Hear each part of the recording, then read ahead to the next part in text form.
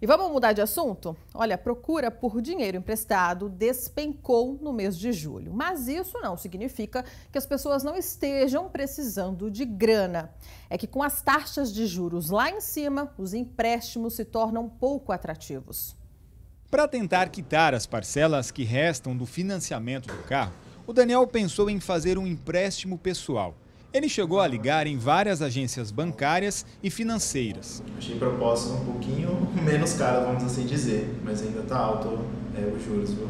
Depois de analisar as propostas, o Daniel percebeu que o valor do empréstimo ficaria mais caro do que o financiamento. Aí desistiu. Tenho percebido que às vezes eles tentam assim alongar um pouco o prazo, né, para a parcela ficar um pouco menor mas mesmo assim os juros ainda, se você somar o final ali de quanto você está pagando, ainda assim fica muito alto, mesmo com um prazo maior. E as diferenças, é nem tanto de um banco para outro, estão meio que alto ali um perto do outro, sabe? Muitos brasileiros, apesar de precisar de empréstimos, têm deixado essa alternativa financeira de lado por causa dos altos juros que estão sendo cobrados. Um levantamento da Serasa, por exemplo, mostrou que no mês de julho a redução nessa operação financeira foi de 11,4% em relação ao mesmo mês do ano passado. Essa já é a segunda retração seguida e a maior desde o começo do ano.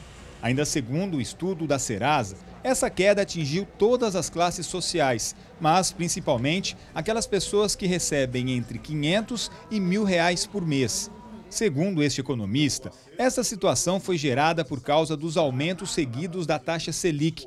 Atualmente é de 13,75%. Quando os bancos eles vão emprestar dinheiro para a iniciativa privada ou para um, um, uma pessoa que quer adquirir algum bem, ele vai utilizar essa taxa como referência. Então, ele nunca vai emprestar com valor inferior a isso. Então, ele vai emprestar com valor superior a isso. E dessa forma, as taxas de juros aumentaram muito aqui no país, porque eles estão utilizando isso daí como taxa referencial. Quanto mais aumenta a taxa Selic, mais aumenta também os empréstimos para as pessoas. Para quem está no aperto, a dica do economista é fazer uma reeducação financeira. A melhor coisa que ela deveria fazer agora é reduzir os seus gastos ao máximo que ela pode, desfazer de bens os quais ela não considera e tentar utilizar bens o qual que ela vai gastar menos na sua manutenção do que manter um padrão de vida que hoje ela, ela, essa pessoa está mantendo. Né?